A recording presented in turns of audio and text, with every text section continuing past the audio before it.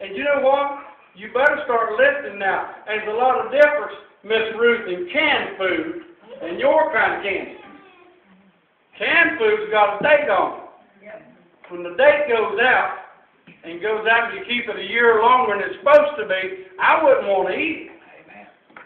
I've seen cans turn black, amen, and spewing out around the top of it. I don't want that junk. But I'm glad, thank God, that I eat one day from the master's table. Amen. And I want to tell you something about it. When he sealed me, he sealed me. And Brother Jeff, he put that seal on there. Thank God he said you're sealed until the day of redemption. Woo! Come on, church. Well, ain't the Bible. Read it next week. It's in there. How many say amen? It's in there. Amen. Amen. Yeah, sealed, sealed, purified, glorified, magnified. Lord God, some of you ought to be running around here shouting this morning. Somebody laugh at it. They're going to laugh at you anyhow. Just jump up and shout anyhow. Amen. I don't care what they're laughing about. Behold, the fowls of the air, for they, not, so, uh, they sow not, neither do they reap, nor rather unto gather into barns, yet your heavenly Father feedeth them. Are ye not more better than they? Wow. Wow. Up on 64 one day, this lady whirled over in her car to miss a squirrel. I knew the lady. And she hit, I can take you to where the wreck was at. She hit two poplar trees, broke both of her legs, and uh, was crippled for a long, long time. And you know what the state patrolman asked her? Why did you do such a thing as that?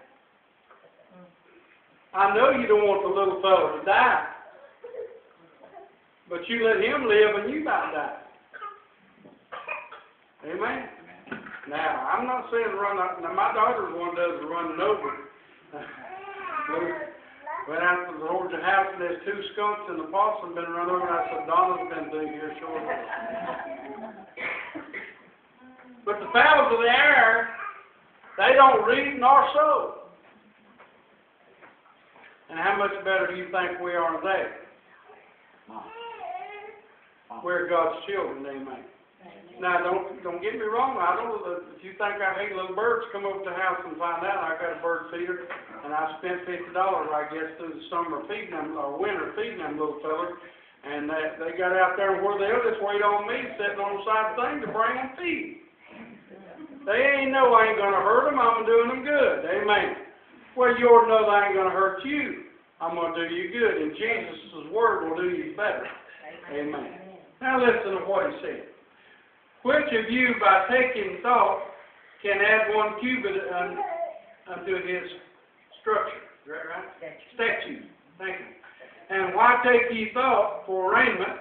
Consider the lilies of the field, and how they grow, and how they toil off. Neither do they spin. And boys, I'm telling you what's truth. I've been to uh, Canada. I've been to Niagara Falls many years ago, and I went inside, and there was some of the prettiest you've ever been there, and I know Miss Davenport has. I believe she has. Miss Davenport, you've been there, ain't you? Or you? She ain't been there, yet. Dad, you've been to inside of Canada's uh, Niagara Falls, Niagara Falls, is, and ain't they just plumb beautiful flowers of beds of them? Amen. That's what I'm talking about. Heaven, when you walk in it, is going to have all kinds of these here flowers. They may not toil or grow, they may not spin here, but Arnold God's got them prepared on the other side. Amen. Amen. And we ought to thank God for that. Amen. I told somebody the other day, talking about my sister being cremated, I said, well, there's one thing about it, I've got a place to hope that the Lord's willing that if I die before Jesus comes to be put. But there's one thing about it, the only fire that I hope I'll ever feel is burning in my heart. Amen. Thank God that fire of God is burning. And way down deep in, why take ye thought for raiment? Consider the lily. Verse 29. And yea, I say unto you, that even Solomon, all his glory, was not arrayed like one of these. You know, Solomon was a smart guy.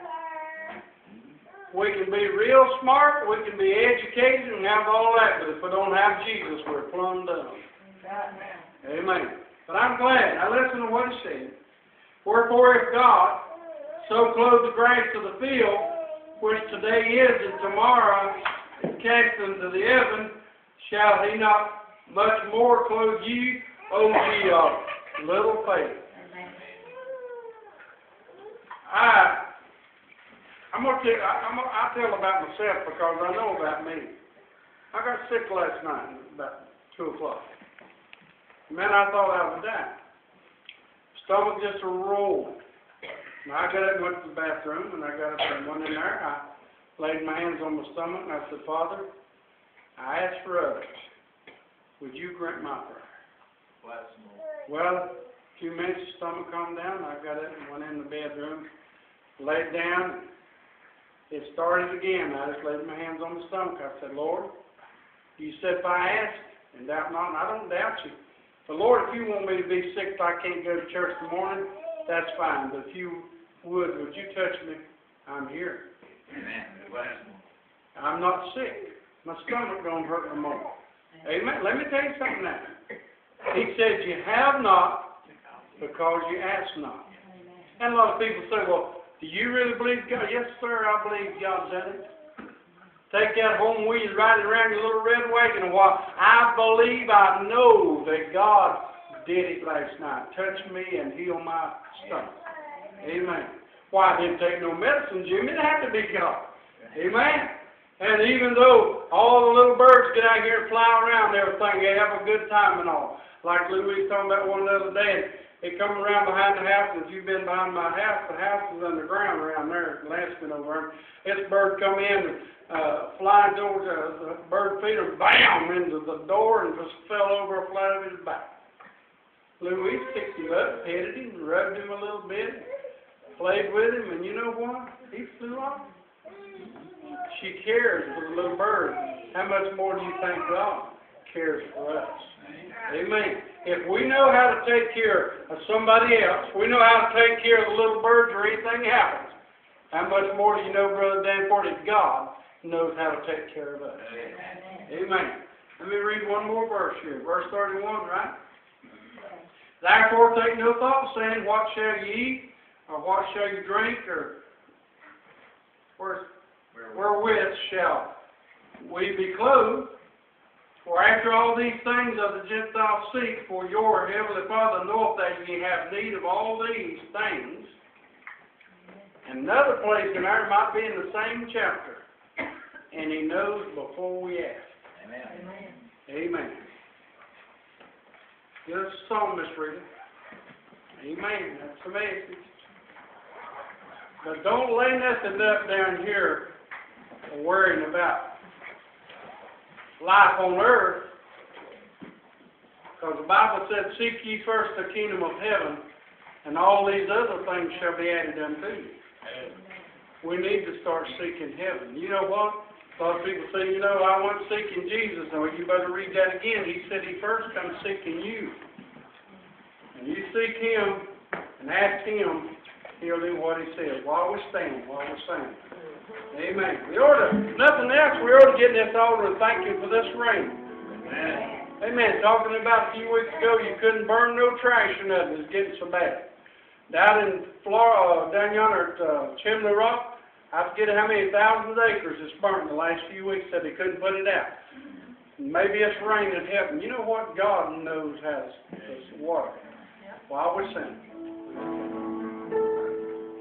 Have you been through Jesus for the cleansing.